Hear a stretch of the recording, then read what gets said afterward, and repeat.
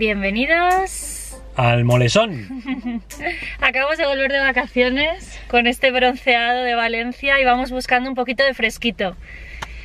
Y por eso nos hemos venido aquí a la montaña del Molesón, en el cantón de Friburgo, a más de 2.000 metros ¿no? de altura. La cumbre está a 2.200 metros. 2.200 metros.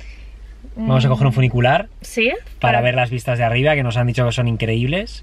Y por la noche, para los que os guste ver las estrellas, tiene el catalejo más grande del mundo, además de otros dos telescopios. Nosotros vamos a hacer la visita de día, os vamos a enseñar un poquito, aprovechar los montes estos tan bonitos, los Alpes en verano, que la verdad es que fresquito. poquito, Sí, sí.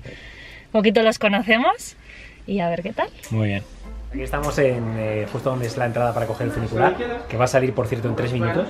Y os explicamos de una forma muy rápida.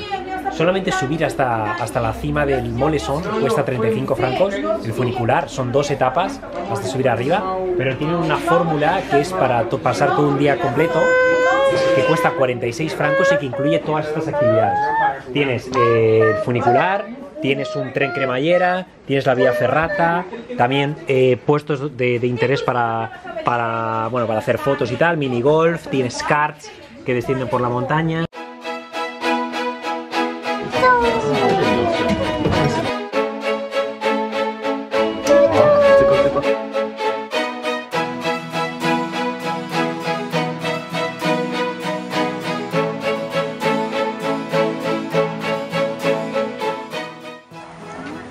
Y aquí estamos a 2002 metros de altitud, en la cumbre del Molesón.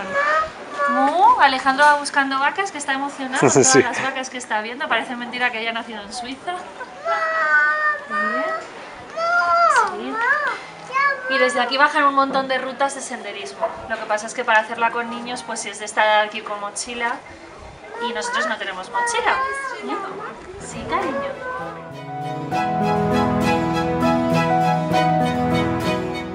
Esto en invierno son todo pistas de esquí y lo que hacen es utilizar todas las instalaciones de las pistas de esquí, los remontes, para que los excursionistas puedan hacer senderismo en verano.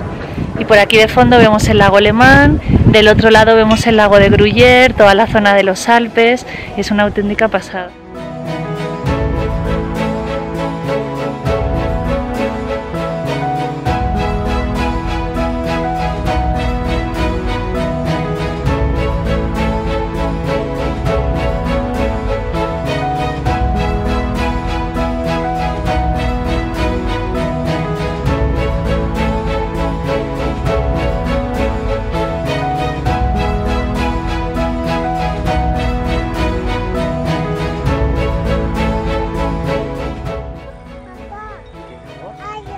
Adiós.